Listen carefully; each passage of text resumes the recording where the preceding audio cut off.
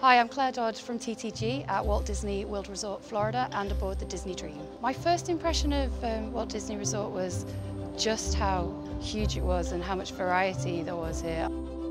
I like to be scared and I like to be thrilled and so things like the test track was so perfectly paced where you're going through this amazing kind of neon world and then suddenly you're whisked away and you're going 60 miles an hour. And Everest you never really knew exactly what you were in for. So the point when you go up the first run and then suddenly the track disappears and you don't know where you're, you're going to end up, that was pretty amazing. Soaring was um, absolutely amazing. The moment that we passed through the cloud, I was there in the moment and felt like I was really flying through the air on there. So that was a, a highlight. I absolutely love the Festival of Fantasy Parade. I, from the moment the first performer went past to the last, the energy was really up and it was just so joyous. I loved the Kilimanjaro Safari. We saw hippos, we saw lions, we saw zebras, we saw rhinos, and I think that there's probably very few places in the world that you get to see that number of animals in that amount of time. The Star Wars Fireworks Spectacular it was like watching a mini film in itself with the projections of all the stormtroopers up on the building and all the perfectly timed music and um, lasers and fireworks.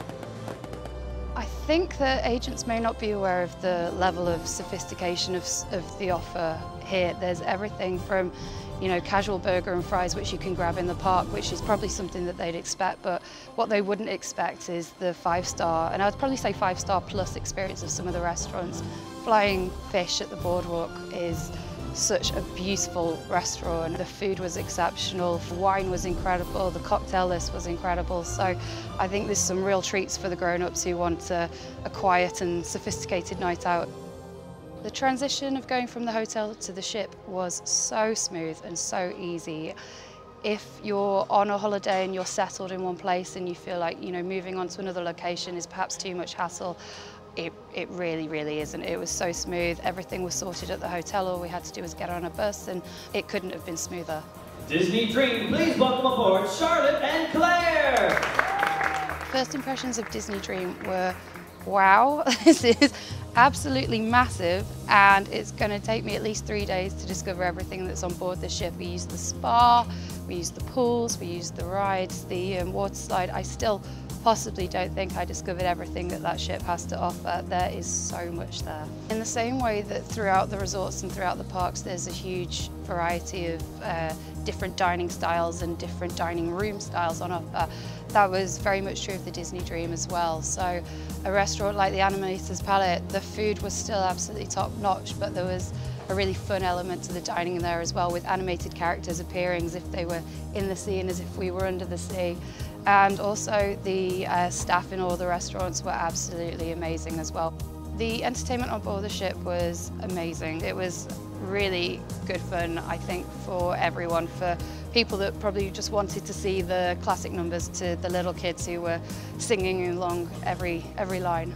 I thought Castaway Cay, from the moment we opened our curtains to the stateroom in the morning to the moment we got back on the ship, was the most chilled out, relaxing, beautiful experience. The island itself is stunning and it's a perfect size, there's enough to explore. So if you want a little section of the beach to yourself, you can do that. If you want to be sat at the bar while there's musicians performing, you can do that too. I did a port adventure where I went kayaking through the mangroves on the island to just take a step back and explore the history of the islands a little bit.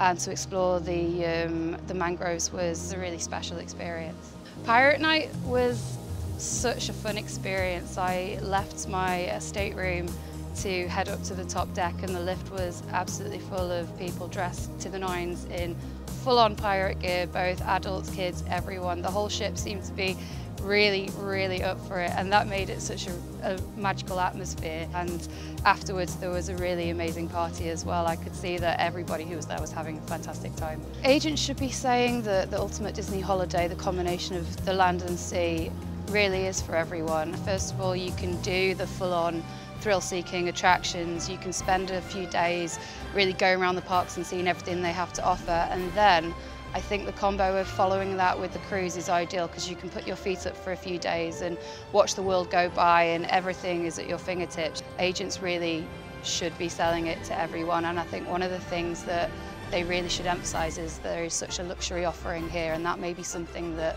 some agents aren't aware of. I'm sure lots of people know about the Tower of Terror and the Magic Kingdom but I'm not sure they know about the wonderful restaurants and spas and really grown up lovely experiences that there are here too.